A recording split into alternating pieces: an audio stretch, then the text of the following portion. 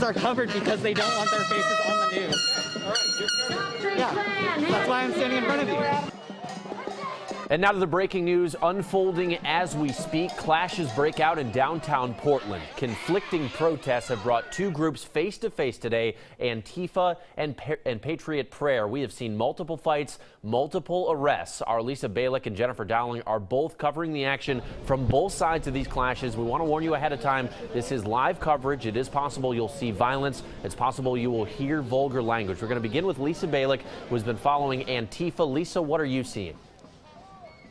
Right now, we're at Southwest Main and 3rd, and they have been on the move over the past 15 minutes. Take a look here behind us here. You're seeing police trying to keep the Antifa from getting over to the Patriot Prayer groups. We have seen pepper spray used. We have seen fights breaking out here.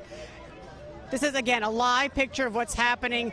Now, there was no permit to be in the streets, but people have gone into the streets. There's a lot of screaming and yelling back and forth between groups. Again, this is a live picture here. We are outside, right in front of the Justice Center. What's happening also is Patriot Prayer is having a rally at Terry Schrunk Plaza, the next block over. Portland police have done a job trying to keep the two groups separated as people are going in there. But these folks now are moving over that way, again, trying to interfere with that rally that's about to go on. But they're on the move. They have been moving through the streets of downtown Portland, mostly the sidewalks. We've seen lots of riot police as well that are in place that are have been on the move as well on their vehicles but we are seeing Homeland Security down here as well as Portland Police. They've been mostly, though, on these several blocks here through the heart of downtown Portland. This started about an hour and a half ago. And again, there's not a plan in terms of where they will be. They just keep going on the move. And the Portland police have been trying to keep the two groups separated from each other.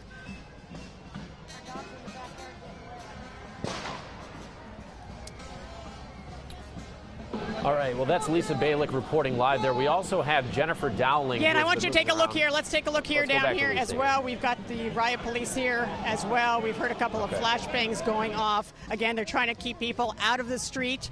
Again, this is live coverage, so you may see some things that you don't expect, but again, this is a live situation.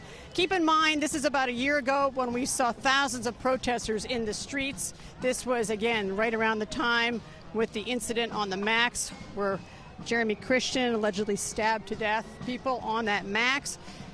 The size of the crowds this time nowhere near that whatsoever, but we have seen more and more people coming down here. This actually, police say, is a larger gathering than what they had expected today. They thought there would not be this many people.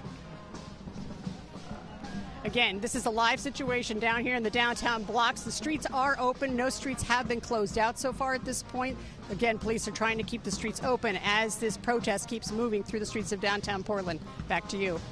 All right, Lisa Balick, thank you very much. And now we want to get over to Jennifer Dowling. You can see the chaos. Jennifer, I've been watching you following these groups around. I understand that this protest began involving a man named Tiny with Patriot Prayer who you talked to. What did he have to say and what are you seeing? Good afternoon, Trevor. Let's first talk about what I'm seeing right now. We're at Chapman Square and Terry Schrunk Plaza, where that rally was originally supposed to start, and we were there uh, talking to some of the members of the Patriot Prayer Group earlier in the day. Uh, it's hard to maneuver around here because the groups are on the move. We're on the move as well, as you can see. My photographer Kenny uh, trying to get some shots here to show you exactly what's going to go on. So I'm just going to walk with him.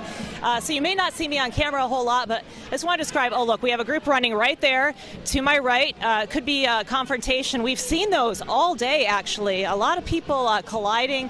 Uh, we've seen a couple uh, incidents where people have been pepper sprayed from both sides. We've seen at least two arrests. one man from Antifa leaving toward the Justice Center with a bloody face and handcuffs. He looked like he was from Antifa.